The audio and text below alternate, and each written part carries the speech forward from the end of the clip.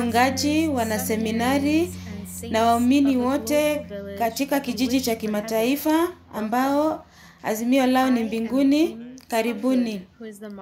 Mimi ni mwelekezi wenu Sim Kyungul na karibisha kila mmoja ambaye amehudhuria kongamano la Shinchanchi, ushuhuda juu ya ufunuo wa Agano Jipya na la Kale kwa kifungu. Imeweza ku, kuenezwa katika lugha tofauti na imeweza kupokelewa na waumini wengi kupitia neno ambalo linashuhudiwa leo. Natumai kwamba utakuwa na muda mzuri wa kuelewa, ambapo tunaweza kuangazia mbingu. Tutaomba pamoja. Baba Mungu ambaye tunakushukuru na tunakuinua, asante sana kwa kutuwezesha na kutuongoza. ndiposa tukaweze kuishi maisha ndani yako. kwa wanao wa imani ambao wamehudhuria kongamano la Shinchanchi mtandaoni, ushuhuda juu ya ufunuo wa Agano Jipya na Agano la Kale kwa kifungo. Tunaomba kwamba upendo wako ukaenee kwetu, ukatupe macho ya kuona, masikio ya kusikia na moyo wa kuelewa Biblia, na pia waongoze wakawe waumini wa ukweli kwako na Yesu, na tunakupa utukufu Mungu, na tunaomba katika jina la Yesu ambaye alitufia. Amina.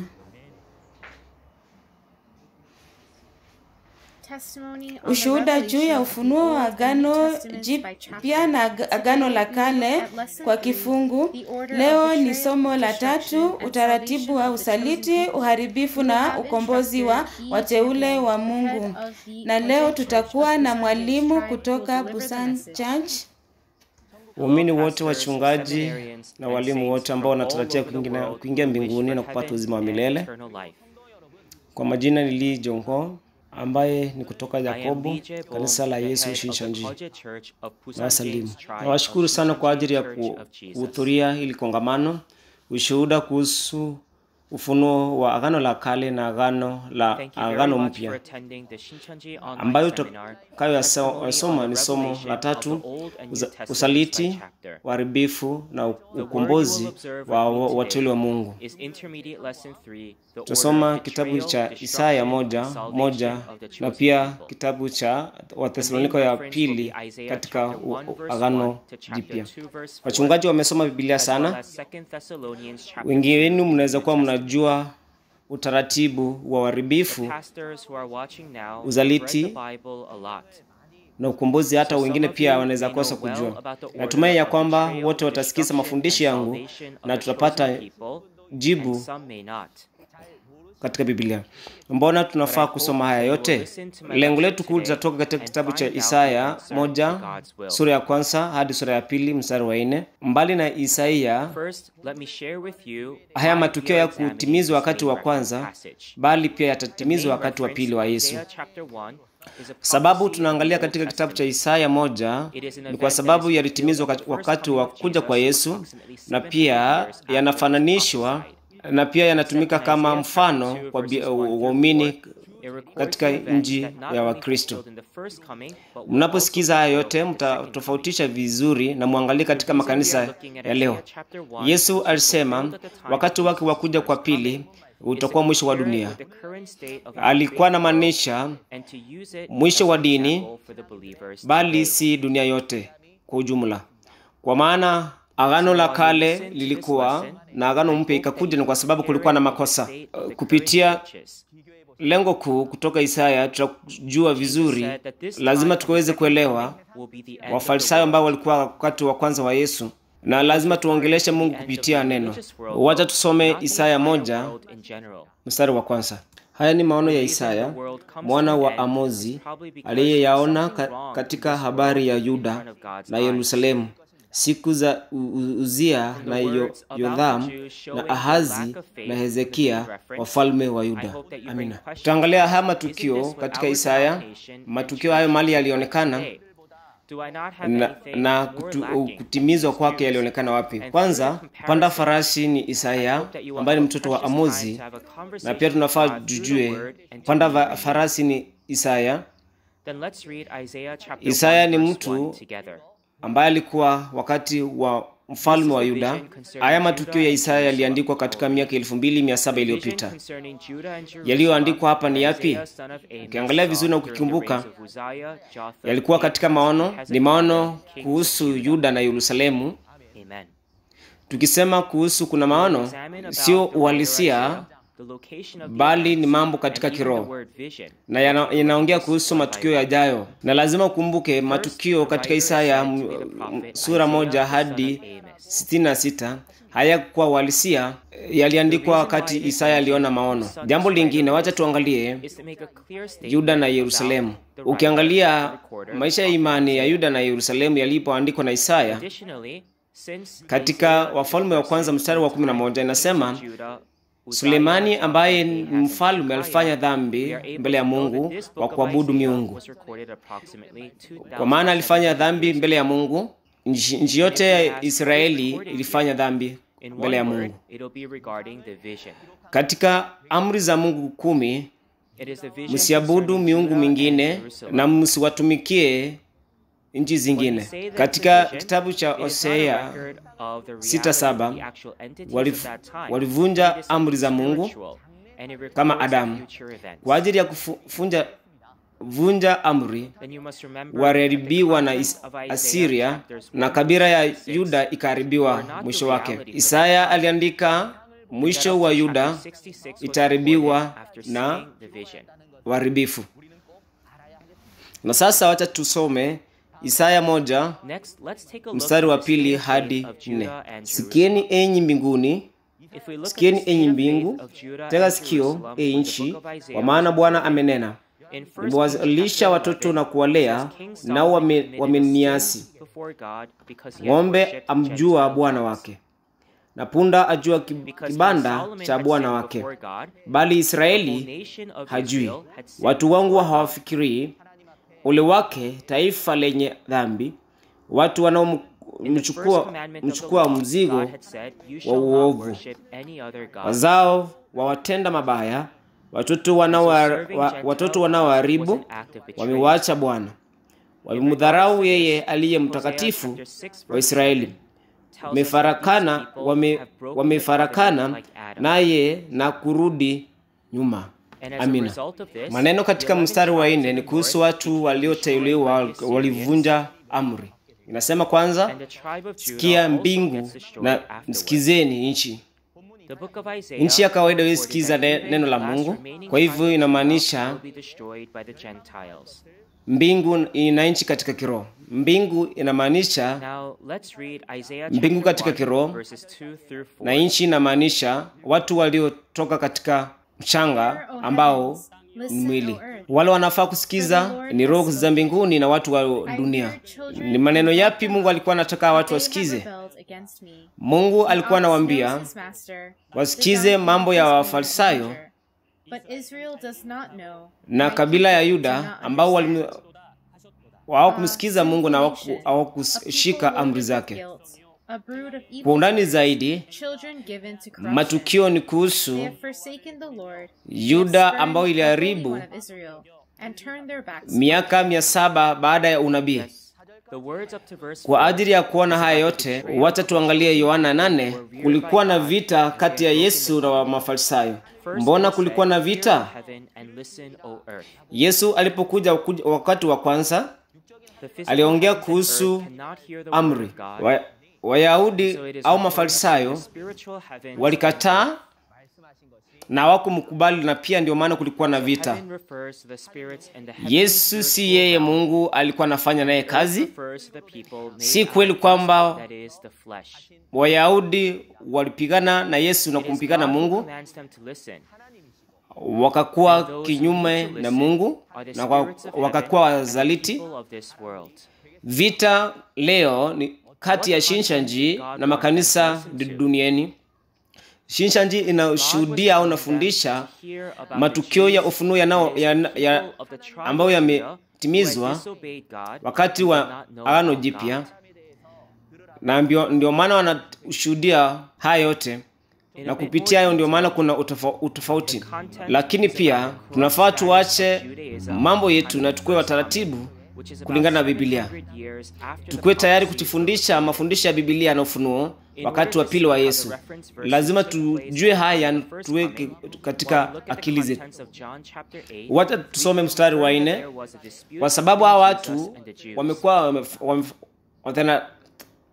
dhambi. Kwa ajili ya kuelewa yote, wacha tukaweze kusoma Isaya tano mstari wa kwanza.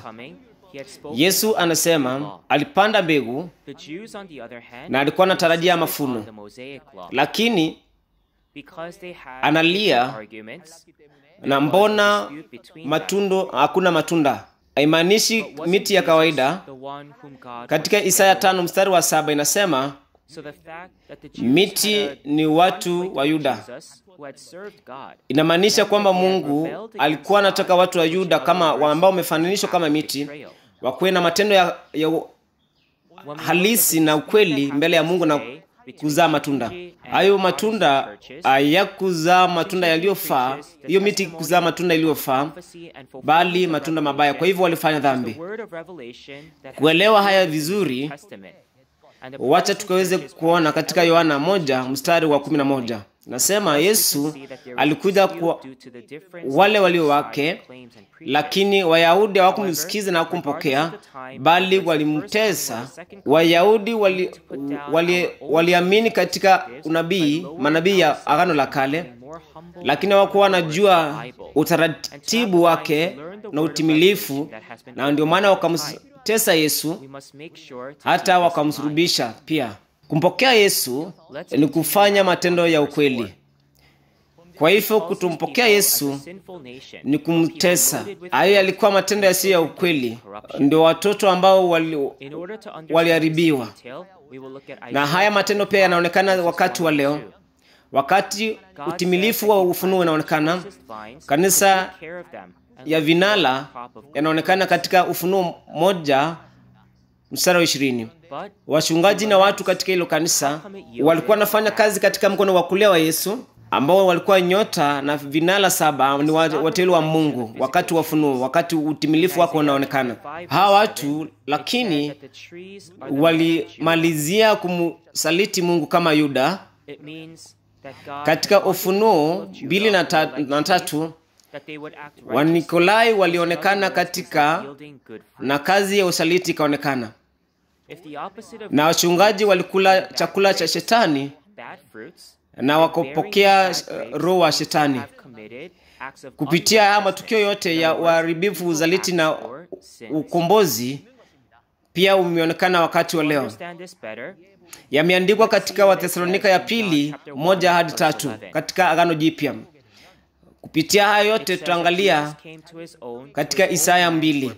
Wacha tuendelee mbele kidogo katika mstari wa ta, tano hadi saba.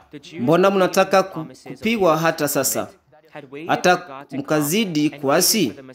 Kichwa chote ni kigonjwa, moyo wote umezimia, umezimia tangu wa, wayo, wa, mu, wayo wa mguu hata kichwani hamuna uzima ndani yake, bali, bali jeraha na machu, machubuko na vidonda vitokavyo ushaha. havikuvungwa havikufungwa havikuzongwa havikuzongwazongwa wala havikulainishwa kwa mafuta. Nchi yenu ni ukiwa, miji yenu imeteketezwa me, me, kwa moto. Nchi yenu wageni wame, wameila mbele ya macho yenu, nayo ni ukiwa, kana kwamba umeangamizwa na wageni. Amina. Naam, maneno yaliyoandikwa mstari wa tano hadi saba ni kuhusu uharibifu wa wateule wa Mungu na taifa. Nasema tunaona haya yote mungu analeta mbona mungu analeta uharibifu katika watu katika hosea kumi mstari wa tano mungu alileta Asiria, mungu analeta hukumu kutoka kwa mataifa na ukiangalia maneno ya mstari wa saba nasema nchi yenu imechoma kwa moto na nchi yenu ime- imetawalwa na taifa. ukiangalia matukio katika kuja wa kwanza wa yesu watelo wa mungu ambao walizaliti waliharibiwa na taifa wakati huo. na wachungaji na watu wa yuda yerusalemu na taifa kuharibu watu ambao walizaliti ambao walikuwa wateule wa mungu. Hawa ni wachungaji wa shetani wafarisayo madhayo Mathayo mstari madhayo 23 mstari wa 37 yesu alisema alitaka kuwakusanya watu wa yerusalemu lakini watu wa yerusalemu hawakukuja kwa yesu. There is no soundness, only wounds and welts and open sores. na waliuliwa kiroho na wachungaji wa shetani wa mafarisayo. yaliyoandikwa katika Mathayo 23 mstari wa 27. Fields are being stripped by Hayo matukio, Wateule wa Mungu ambao walizaliti neno la Mungu waliharibiwa na taifa. Ufunuo, msta, Ufunuo sita na Ufunuo kumi na tatu ni matukio yanayofananishwa wakati wa leo. Wachungaji na watu katika hekalu la vinara saba ambao tuliona hapo awali, mafundisho kutoka wa Nikolai walifanya watu katika hekalu kukula chakula cha shetani mwofu. Wakati huu Yesu anamchagua mtu mmoja ambaye ni mjumbe na anamtuma anatuma barua au alafa kwa watu kuambia wa, wa, watubu, lakini hata baada ya kupokea barua hawakutubu na walihukumiwa katika Ufunuo sita na walianguka kutoka mbinguni kwenda nchi.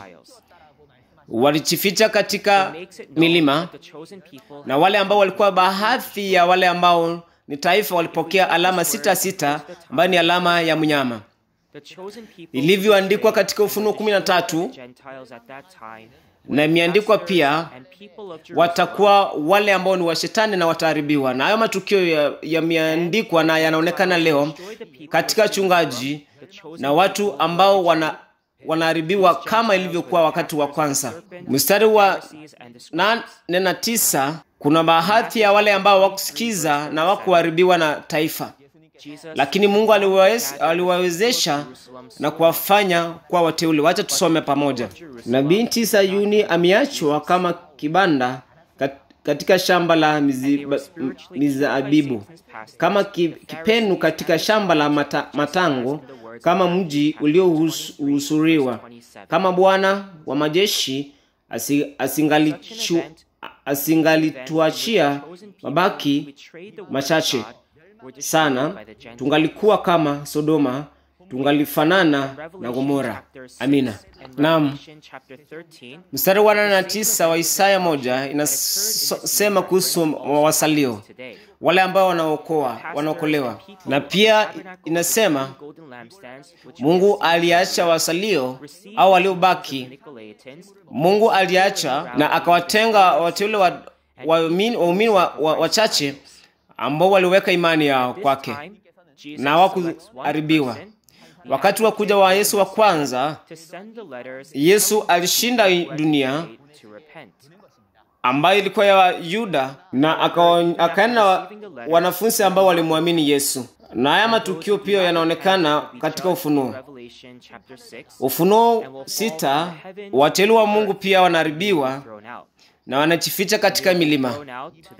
Na haya matukio yanaonekana katika ufunuo sita mstari wa sita. Kuna wale waliobaki. Na hawa watu ndio waliokuja wachache ambao ni mbeu ya mungu na kutengeneza mahali pa ukovu wakati wa pili. Mstari wa tisa tuliposoma kama mungu angetenga wasalio wangekuwa kama sodoma na gomora. Wakati nchi au dunia ya imani inaharibiwa mungu anachagua wachache kwa ajili ya ukombozi. Verses 8 and 9, it says that there are a few remaining seeds, a small number of believers who do not perish even during Wakati- wa time of destruction, but they keep Kwa ukombozi haujaonekana katika miaka elfu sita iliyopita, bali yanaonekana wakati wa ufunuo katika Ufunuo saba, na hapa ndio wakati wa umbaji wa makabila kumi na mawili. Mwenyekiti ambayo ni mani hili alipokea utaratibu na ufunuo, kitabu cha Ufunuo, na akashuhudia katika dunia kote, na kila mmoja ambaye amesikiza katika kongamano la leo, tafadhali naomba mkaweze kusikiza vizuri na mkaweze kujua mambo ya maumbile na ukombozi unaoonekana katika wakati wa pili katika Ufunuo sita. Wacha tusome mstari wa, wa kumi hadi mstari wa kumi na tano. Lisikieni neno la Bwana, enyi waamuzi wa Sodoma, tegeni masikio msikie sheria ya Mungu wetu. Enyi watu wa Gomora, huu wingi, huu, huu wingi wa sadaka zenu mnazonitolea una faida gani? Asema Bwana. Nimejaa mafuta ya kafara za kondoo waume na mafuta ya wanyama walionona, nami silifurahii damu ya ng'ombe wala ya wanakondoo wala ya mbuzi waume.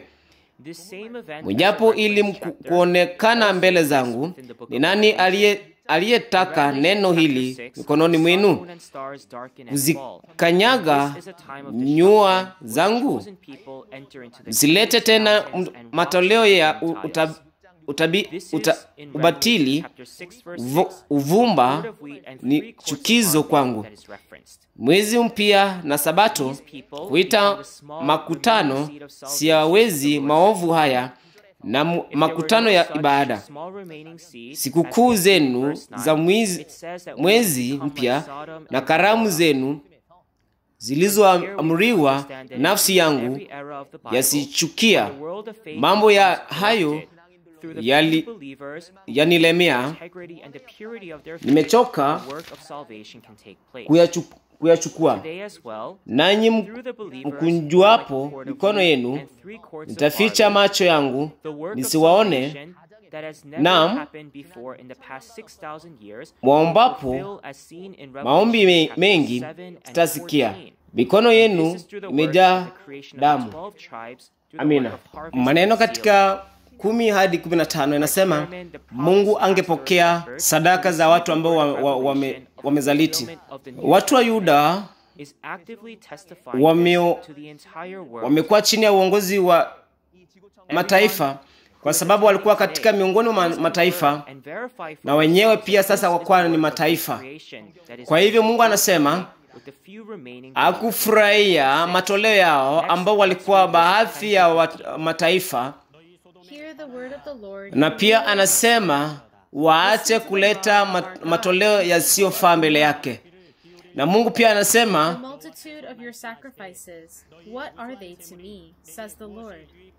hatapokea matoleo yao Tena.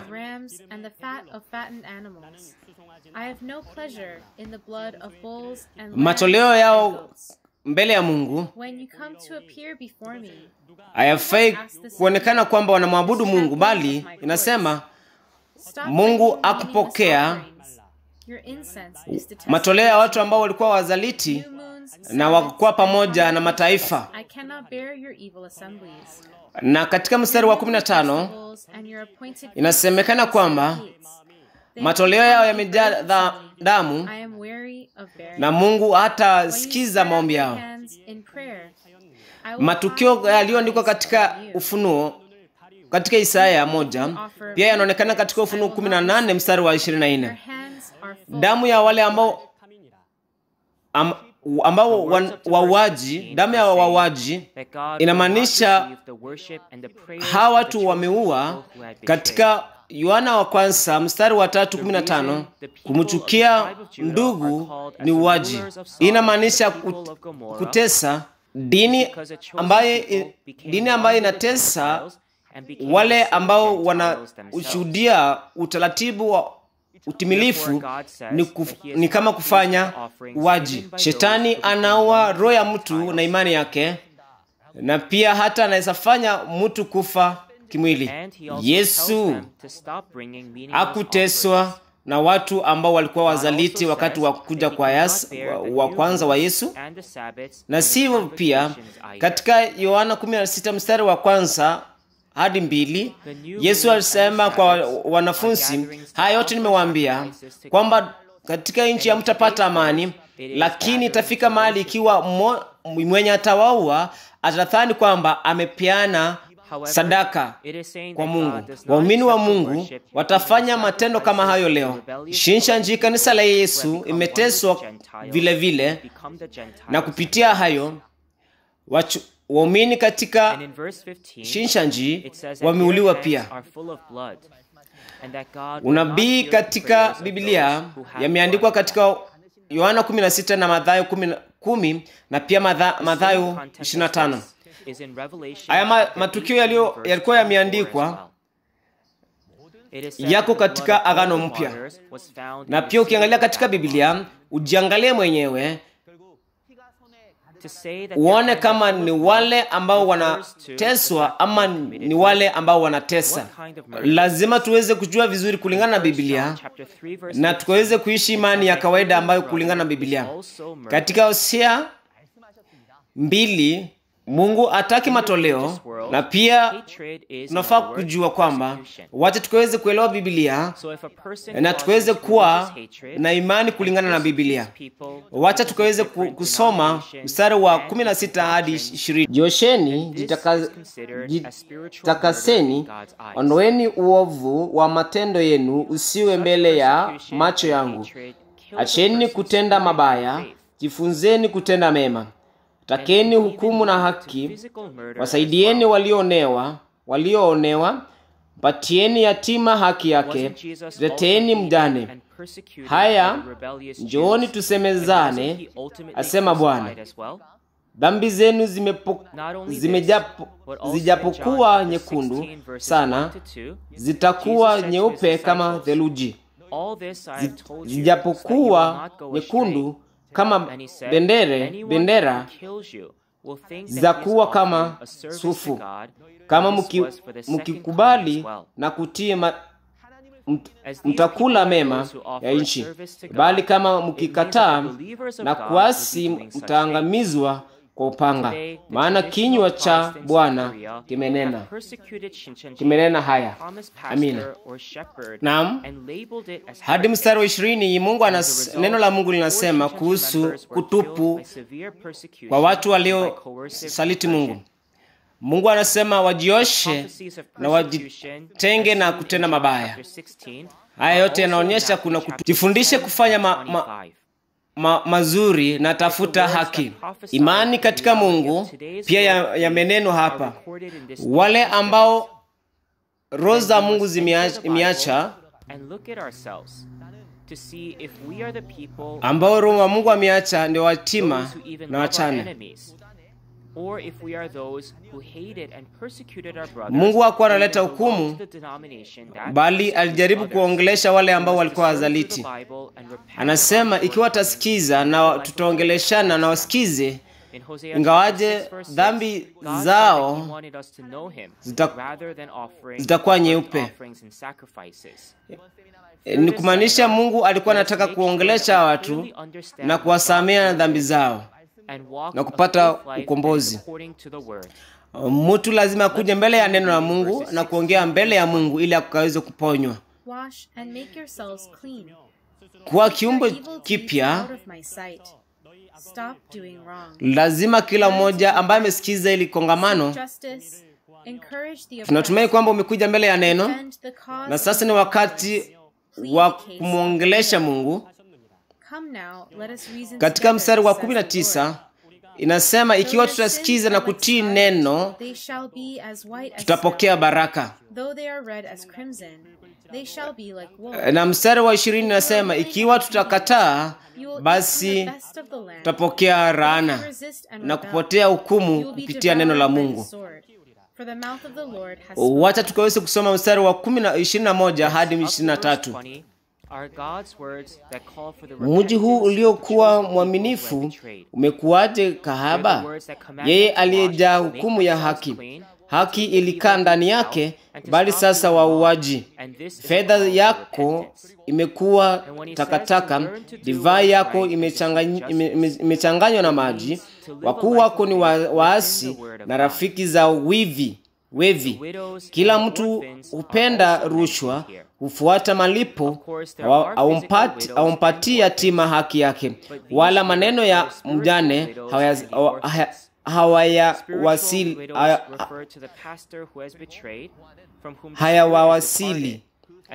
Kwa hiyo asema Bwana, Bwana wa majeshi, mwenye enzi wa Israeli,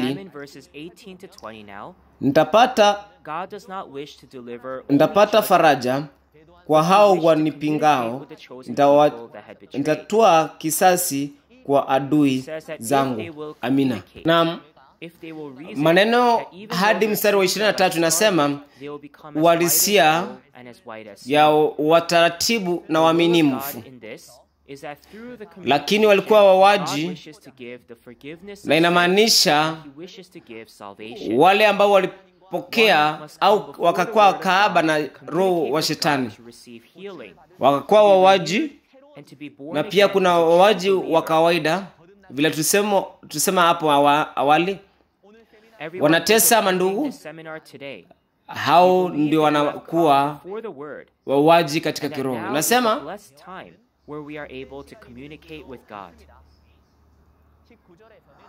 divai yao 19, imechanga- it is said that if imechanganywa na maji, kumaanisha mafundisho yao yote yamekuwa uongo. Ukisikiza hili neno unafaa ufikirie kwa undani sana, ikiwa mafundisho unayopokea au mafundisho katika dini zetu au kanisa zetu yako na ukweli ama ni mafundisho ambayo yamechanganywa na mafundisho ya ulimwengu. Katika mstari wa ishirini na mbili Man- neno linasema, viongozi ambao ni wachungaji hawa wachungaji walikuwa pamoja na mataifa na wanakimbilia zawadi na pesa.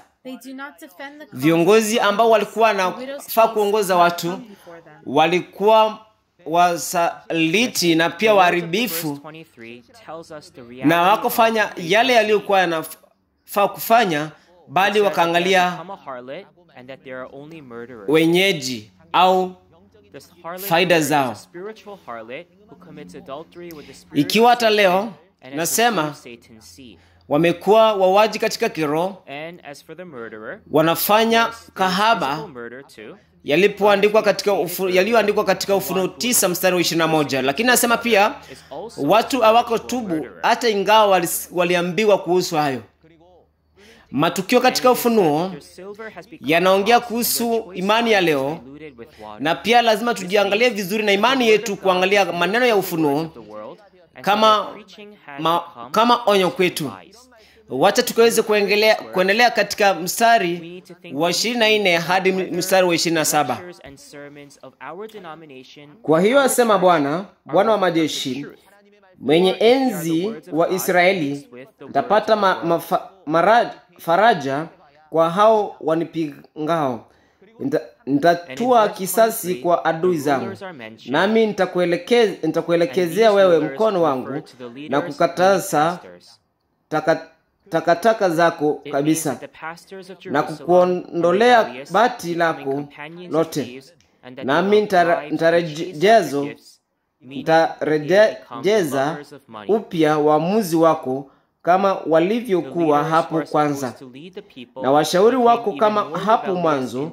Baada ya hayo utaitwa mji wa haki, mji mwaminifu. Sayuni itakombolewa kwa hukumu na na wa- waongofu wake kwa haki.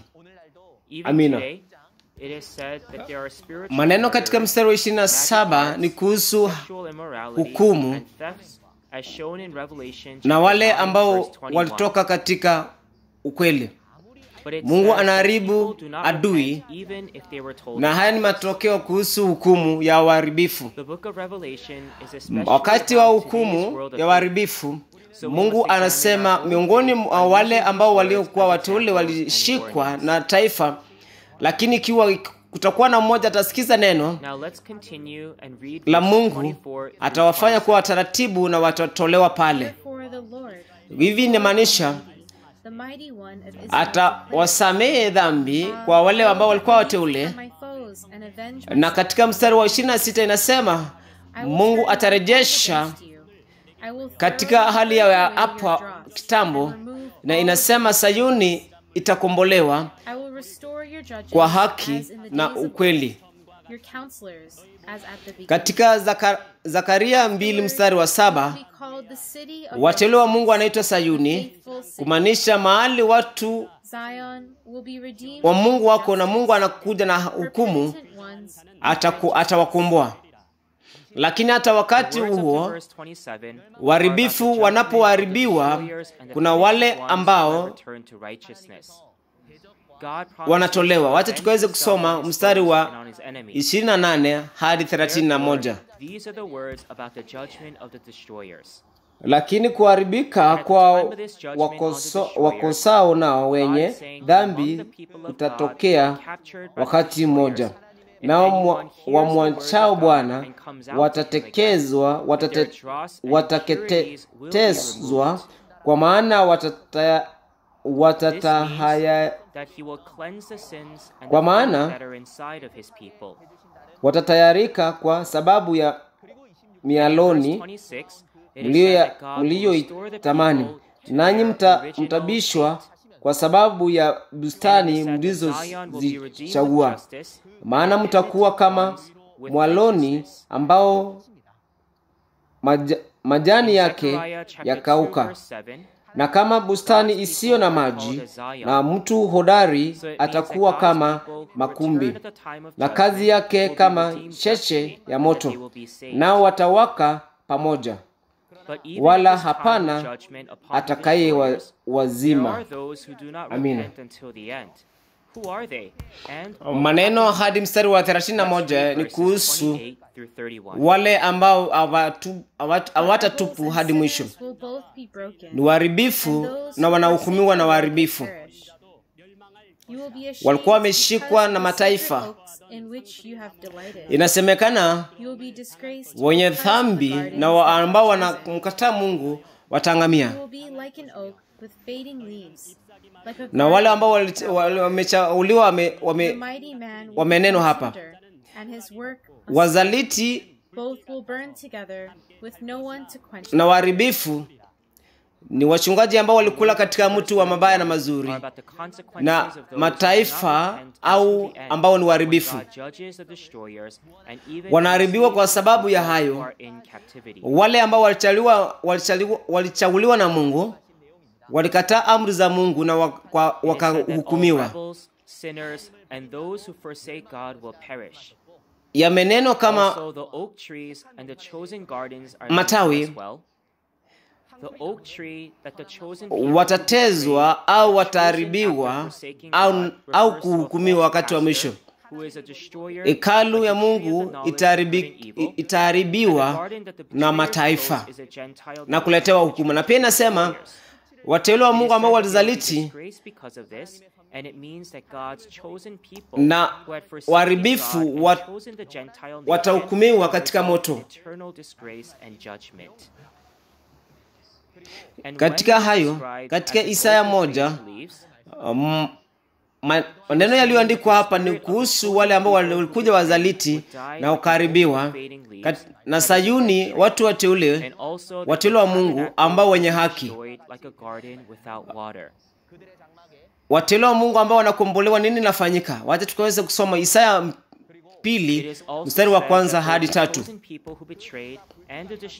Hili ni neno aliloliona Isaya mwana wa Amozi katika habari ya Yuda na Yerusalemu. Na itakuwa katika siku ya mwisho, mlima wa nyumba ya bwana utawekwa imara juu ya milima nao utainuliwa juu ya vilima na mataifa yote watauendea makundi makundi na mataifa mengi watakwenda na kusema njooni tuende juu juu ya mli, juu mlimani kwa bwana nyumbani kwa mungu ya yakobo, wa yakobo. naye atatufundisha njia zake nasi tutakwenda katika mapito yake maana katika sayuni ita, itatoka sheria na neno la bwana katika yerusalemu. amina. Nam naam. maneno katika isaya hadi mstari wa tatu ni mahali ambapo mataifa yatakusanyika. isaya ms- pili mstari wa kwanza hadi tatu pia nasema yuda na yerusalemu. yuda na yerusalemu katika isaya moja inamaanisha wateule wa mungu ambao walikuwa wazaliti na wateule yuda na yerusalemu katika pili isaya pili ni nchi ambayo inaonekana wakati wateule wa mungu walizaliti na kuharibiwa na ambao ni wateule wa mungu. Mstari wa pili inasema mwisho mlima wa hekalu la mungu litajengwa. Isaiah chapter 2 verse 1 also mentions wakati wa mwisho au siku za mwisho sio siku za mwisho za ulimwengu bali ni wakati wa utimilifu ambayo ni sayuni ni hekalu la mungu. Jerusalem in Isaiah chapter 2 verse 1 mstari wa tatu mlima wa mungu unaonekana na jina lake ni mlima sayuni. Inasema In verse 2 kwa sababu amri au sheria ya mungu itatoka sayuni watu wengi watakuja wakisema njoni tuende sayuni kusoma neno la mungu kulingana na haya maneno na ukweli wake kuhusu sayuni tunaona mungu mwenye neno atakusanyika atakusanya watu katika sayuni. Katika Zakara, zakaria 8 mstari wa tatu pia inasema mungu atarudi katika sayuni. Huu mlima sayuni mahali ambapo mungu atakuwa itakuwa wapi? katika isaya mstari wa sitini sura ya sitini mstari wa kumi na nne anasema nyinyi ambao mmetwa nchi ya Mungu ni mahali pa mungu wa israeli. Mahali ambapo mungu anachagua mchungaji aliyechauliwa ndiye atakuwa sayuni. Ukiangalia ama ukiangazia matukio ya kuja wa kwanza wa yesu yesu alikuwa kama nuru na alikuwa na mungu na pia ndiye alikuwa uhalisia wa sayuni. 14, na wakati wa kwanza wa yesu Kikundi cha mungu ni wale ambao walikuwa pamoja na yesu na pia walikuwa sayuni na ukiangalia katika uhalisia wa sayuni wakati wa pili au siku za mwisho katika agano jipya wacha tukaweze kusoma katika wathesalonika ya pili mstari wa kwanza hadi tatu. Basi ndugu tunakusihini kwa habari ya kuja kwake bwana wetu yesu kristo na kukusanyika kwetu mbele zake kwamba msi- msifadhaishwe upesi hata kuiacha nia yenu wala msistushwe kwa roho wala kwa neno wala kwa waraka unaothaniwa kuwa ni, kwe, kuwa ni wetu kana kwamba siku ya bwana imekwisha kuwapo mtu awaye yeyote asiwadanganye kwa njia yeyote maana ha, haiji isipokuja kwanza ule usipokuja kwanza ule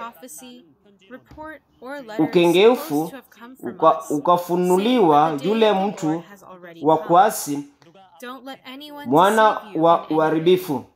Amina. Naam. umesoma wathesalonika ya pili mstari wa sura ya pili moja hadi tatu inasema kutakuwa na wazaliti waharibifu na kutakuwa na ukombozi wakati wa pili wa yesu. 1 to 3. alipose yalipoandikwa kama ilivyokuwa katika isaya. Wacha tuangalia matukio ya uharibifu uzaliti na ukombozi katika agano mpya. Mathayo take a look at this work of betrayal, destruction, madhayo 24 mstari wa 15 hadi mstari wa 16 inasema Ukiona uharibifu katika mahali patakatifu 4 verses 15 to 16. wale wanaosoma wacha ukaweze kukimbilia milimani na pia katika madhayo 13 mstari wa 24 hadi mstari wa ishirini na tatu yesu alisema kuhusu kupanda mbegu ya aina mbili Verses 36 to 45 na kutakuwa wakati wa mafuno wale ambao wamezaliwa kwa mbegu ya yesu ni watoto wa mungu na wataingia mbinguni.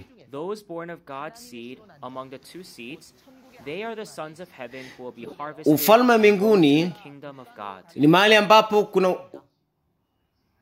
mafuno. Na pia yote yameandikwa katika ufunuo kumi na nne mstari wa kwanza. chapter 2 wacha tukaweze kuangalie utaratibu 14. Kulingana na yale yaliyoandikwa katika ufunuo. Katika isaya tulipoona wakati hapo awali na ufunuo moja mbili na tatu as seen in Isaiah chapter 1 earlier. kuna wachungaji katika chapters 1, 2, hekalu ya vinala saba. inasema katika ufunuo pili na tatu wamekula chakula cha shetani yule mwovu na wa- chapters 2 and 3, kafanya it ukaba na shetani. Na waharibifu walikuja wakati wa ufunuo na uwalizia wake. ni wachungaji na waumini katika hekalu- hekalu ya nyota saba na vinara saba. wanaharibiwa na wasaliti ambao ni taifa 13, they are katika ufunuo sita na ufunuo kumi na tatu wakati huo waharibifu ambao wanaharibu vina- vinara saba ni mnyama wenye vichwa saba na pembe kumi. yaliyoandikwa katika ufunuo kumi na sita kumi na saba na kumi na nane. Na haya matukio 17, yanapoonekana 18. yalipoandikwa katika ufunuo kumi na nne na mstari wa kumi na nne hadi kumi na sita inasema Malaika anayefanya uf- 14, verses mafuno, 14 to 16, the harvesting anafanya ufunaji na mlima Sayuni inaonekana katika Ufunuo kumi na nne. katika huyu mlima Sayuni kuna e, kiti cha enzi 14. ya Mungu Yesu a na mafuno. Lamb. Inasemekana kwamba neno la Mungu na Yesu yameandikwa katika wale waliofunwa. Ni wale ambao wametiwa muhuri katika vichwa zao. Makabila kumi na mawili ya Israeli mpya ufalme wa Mungu. Kitu cha maana hapa, hawa watu wa makabila kumi na mawili walifunwa katika Ufunuo kumi na nne na Ufunuo saba na ndio wana wa ufalme wa mbinguni walisia uhalisia wao ni wale ambao umefunwa, ni wale watu ambao wanapokea ukombozi na wanaingia ufalme wa mbinguni wakati huu sasa. Wa- Upande mwingine wateule wa Mungu waliochauliwa ambao wakakuwa wazaliti na sasa wanapokea alama ya shetani sita sita katika Ufunuo kumi na tatu hawakuamini uhalisia hata ingawa waliona na hawakuamini na hata hawakukimbia katika mlima bali hawakufunwa. Kwa hivyo wanaharibiwa na mnyama na wana, wataenda katika hukumu wa moto, na hii ndio matokeo ya wale ambao kufunwa.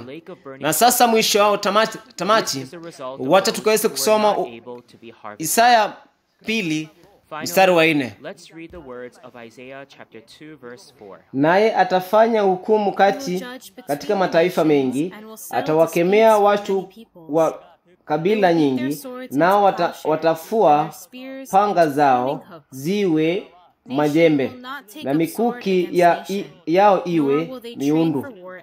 Taifa halita halita halitainua upanga juu ya taifa lingine, wala hawatajifunza vita tena kamwe. Amina.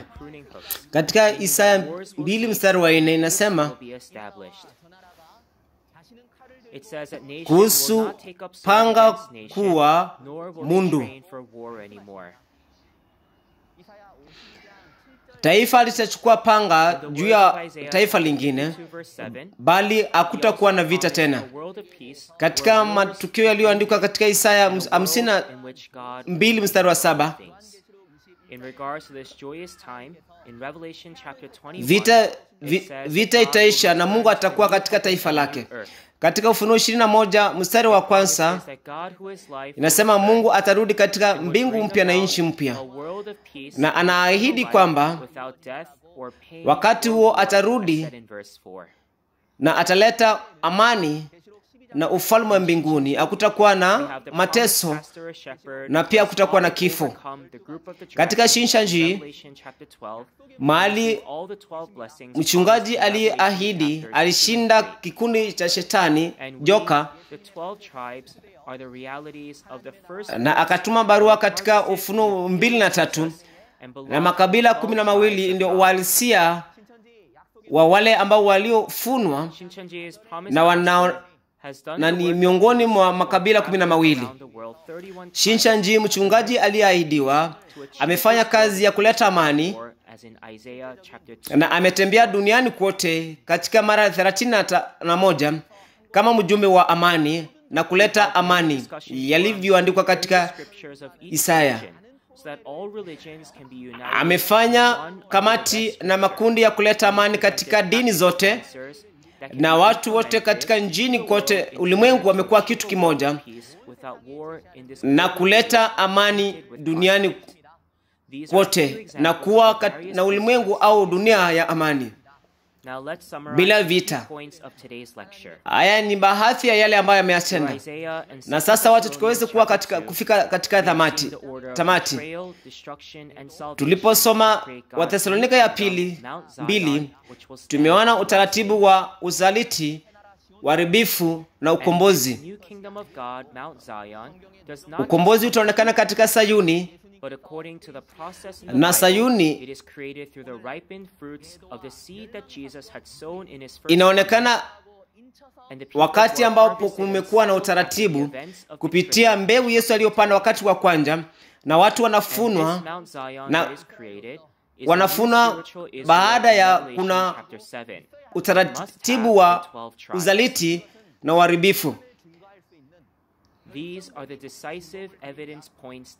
Israeli mpya inaonekana lazima ikuwe na makabila kumi na mawili na ndio maana haya yote yanaonekana kutoka Sayuni. Mahali popote pale ambapo hakutakuwa Israeli. Ni mahali ambapo hakuna, hakuna utaratibu wa uharibifu, uzaliti na pia ukombozi. Kwa hivyo sisi lazima tukaweze kuwa katika miongoni mwa wale ambao, ambao wako kati katika makabila ya kumi na mawili. Matukio ya ukombozi yameonekana katika Korea na sasa Shinshanji.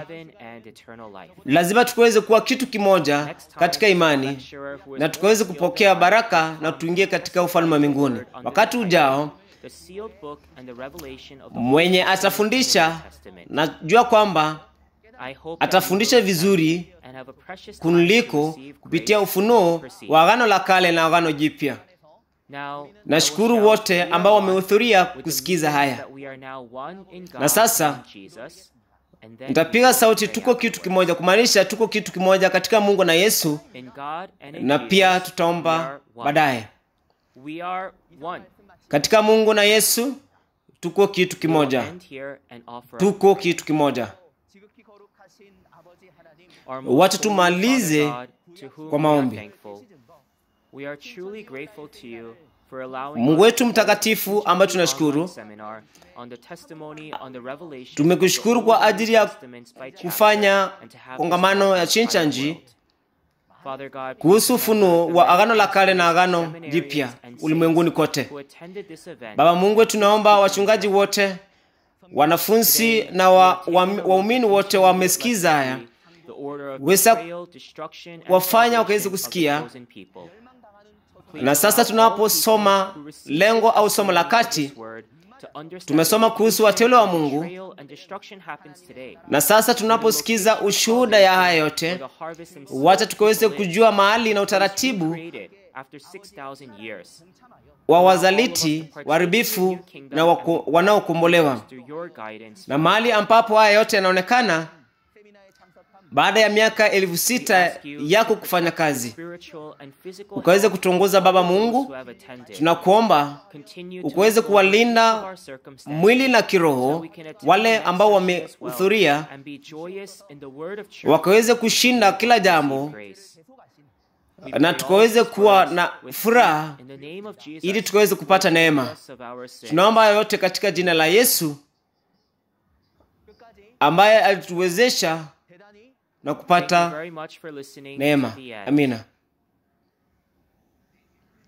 Nashukuru sana kwa kusikiza hadi tamati. no Kitabu cha unabii ni kitabu kilichotiwa mhuri kwa kuwa hakuna anayekijua hadi wakati kinatimilika. Ni vipi kitabu hiki kilichotiwa mhuri katika Agano Jipya kinavyoonekana na ni nini ufunuo wa Agano Jipya? Hakuna mbingu wala ukombozi ila kupitia ufunuo. Yapaswa iwe kupitia ufunuo iliyofichwa kwenye mafumbo na siri za mbinguni. Ni nani malaika alimpa kitabu ambacho alikipokea?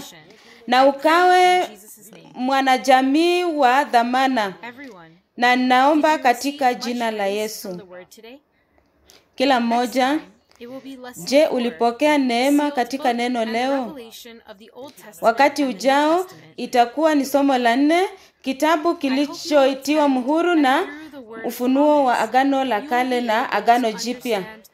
Natumai kwamba uta utaungana nasi ili ukaweze kujua ni nini Mungu anahitaji na ukawe mwanafamilia ambaye utakuwa katika ufalme wa mbinguni.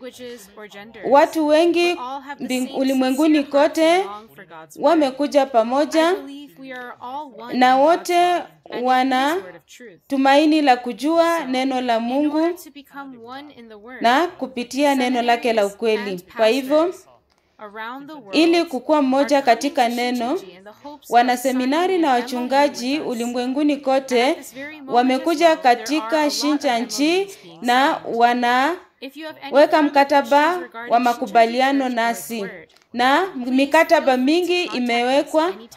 Na kama una swali lolote kuhusu Shincha nchi, tafadhali uwe huru na tutakuwa na furaha kukuelekeza. Mwisho kabisa, nashukuru wachungaji wote, wanaseminari na e, na wote wanaoungana nasi. Na sasa tutamaliza kongamano la leo kwa kuomba. Baba yetu uliye mbinguni, jina lako litukuzwe, ufalme wako ufike, utakalo lifanyike duniani jinsi ilivyo mbinguni. Tupe leo mkate wetu wa kila siku, na utusamee makosa yetu. Jinsi tulivyo wasamee wale waliotukosea, usitutie kwenye vishawishi bali utuokoe na yule mwovu, kwa kuwa ufalme ni wako na nguvu na utukufu milele na milele. Amina. Asanteni kuwa nasi.